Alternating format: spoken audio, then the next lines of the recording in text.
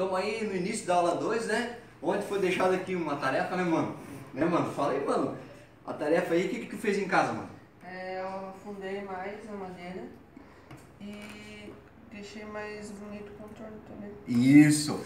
Então, é, já tá ba- baixo o suficiente? Não, não tá ainda, tá? Mas só que é o seguinte, o mano não tem mais como trabalhar com esse formão, formão V, tá? Que é o que faz o contorno. Não tem mais como ele trabalhar, não tem mais espaço, não consegue mais. Vocês podem observar que já tá no limite do formão. O que, que ele vai fazer agora? Então ele vai abrir mais espaço para esse formão trabalhar, tá? Então agora nós vamos deixar o formão V do lado, vamos pegar o formão em goiva, tá? E vamos fazer esse tipo de trabalho. Observem, mano, é a mesma coisa. Cotovelo apoiado aqui.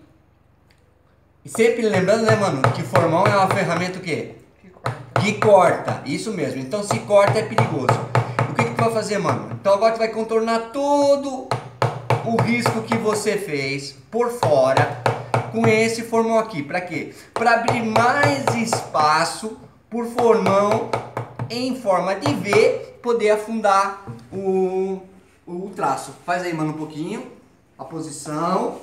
Isso. Devagarzinho. É isso aí. Vai fazer isso aí hoje. Essa é a aula número 2. Mano, continua aí, mano. Não para. Não pode parar. Beleza? Depois eu mostro como é que ficou o trabalho do mano. Valeu? Até a próxima.